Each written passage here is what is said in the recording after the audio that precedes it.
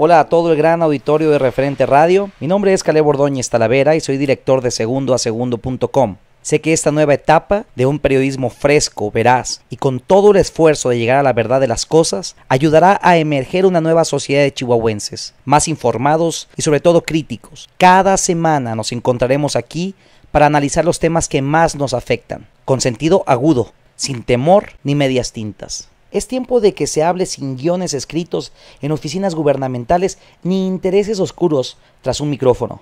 Por eso las cosas ya están cambiando. Las últimas semanas han caído como la peor de las noches para un gobernante tan polémico como acusado. César Duarte será recordado como quizá el peor de los últimos años. Van tres rounds perdidos al hilo.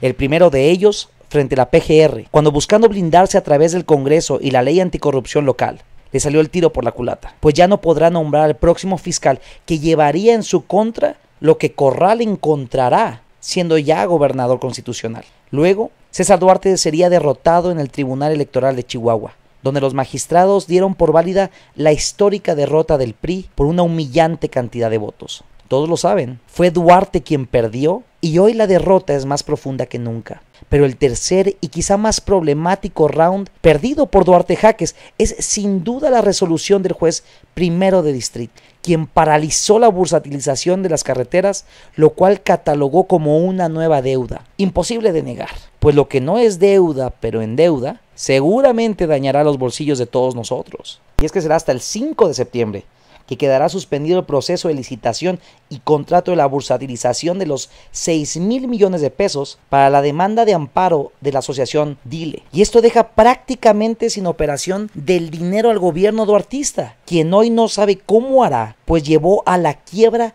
y hasta las últimas consecuencias. Y lamentablemente, hoy sabemos que el gobierno está quebrado, a tal grado de no tener para pagarle a proveedores, pero aún a los mismos trabajadores, que ninguna culpa tienen de las posibles corrupteras de sus propios jefes y menos aún las del gobernador. Así que será en las manos de la nueva administración, en la de Corral, manejar este presupuesto y también las miles y miles de quejas contra la mal querida actual administración. Pero aunque Duarte perdió ya tres rounds en muy poco tiempo, todavía quedarán los que tiene que enfrentar contra su propio partido, pues el PRI tiene ganas de expulsar a los tres gobernadores considerados más deshonestos del país. Javier Duarte en Veracruz, Jorge en Quintana Roo y obviamente el gobernador de Chihuahua, quien además no ha dado la cara a la gente desde la derrota de su partido en junio y deberá inaugurar el Festival Cultural Internacional Chihuahua. ¿Qué pasará ese día?